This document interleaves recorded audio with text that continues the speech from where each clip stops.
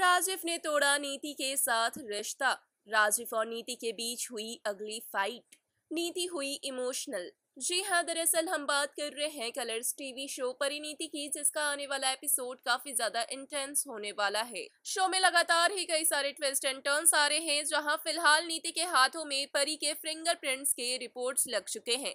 लेकिन इन कागजात को कहीं ना कहीं परी फाड़ देती है और ये साबित कर देती है कि ये दोनों ही फिंगरप्रिंट्स अलग अलग शख्स के हैं। और ऐसे में नीति एक बार फिर से गलत साबित हो जाती है, जहाँ पर सभी घर वालों के सामने नीति की जमकर बेजती होती है और के सामने नीति की वजह से राजीव को भी शर्मिंदा होना पड़ता है। और ऐसे में राजीव का फूट पड़ा है नीति पर गुस्सा।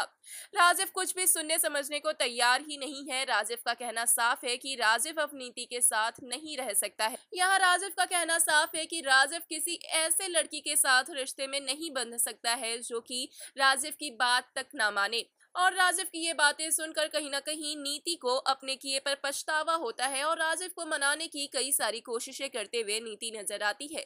लेकिन राजीव है कि नीति की एक सुनने को तैयार ही नहीं है।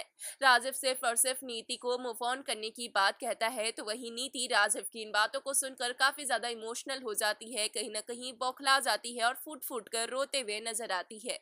वेल तो इस पर क्या है? आपकी राय आखिरकार राजीव और नीति इस बदले रिश्ते पर क्या कुछ कहना चाहेंगे आप? हमें कमेंट के ज़रिए ज़रूर बताएँ। साथ ही टेलीविज़न से जुड़े ऐसे और लेटेस्ट अपडेट्स के लिए चैनल को सब्सक्राइब करें।